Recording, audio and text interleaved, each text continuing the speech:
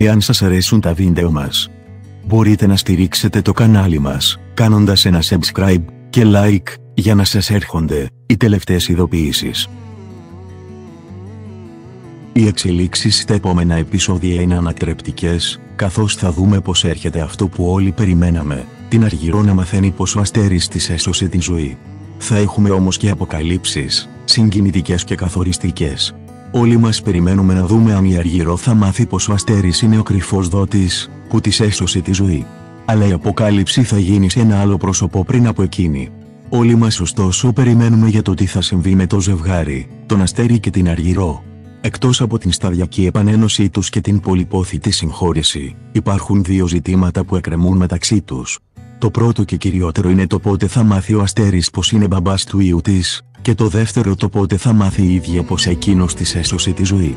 Με αυτή την σειρά θα τα δούμε στον ψασμό.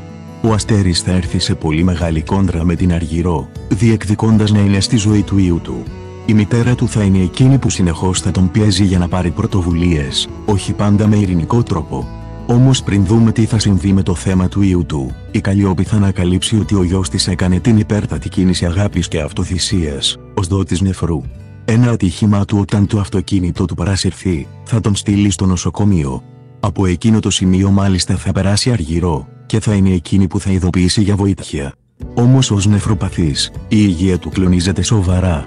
Οι γιατροί θα ανακοινώσουν στην Καλλιόπη πως για αυτό το λόγο καθυστερεί η ανάρρωσή του, και εκείνη θα μείνει αμβρόντιτη.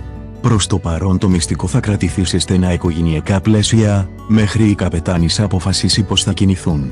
Η Αργυρό θα το μάθει λίγο αργότερα, σε μια κρίσιμη στιγμή για την κυδαιμονία του γιού τους, και την αναγνώριση του αστέριος πατέρας. Αυτό το γεγονός θα φέρει και την οριστική συμφιλίωσή τους. Δεν μπορεί παρά να είναι καρμικά όσα τους συμβαίνουν. Φίλες και φίλοι, τα λέμε στο επόμενο βίντεο.